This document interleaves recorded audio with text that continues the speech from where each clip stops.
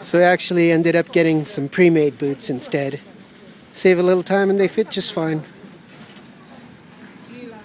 There's my boots. Only 25 bucks for the pair. 27 actually. So we'll see about getting a hat next.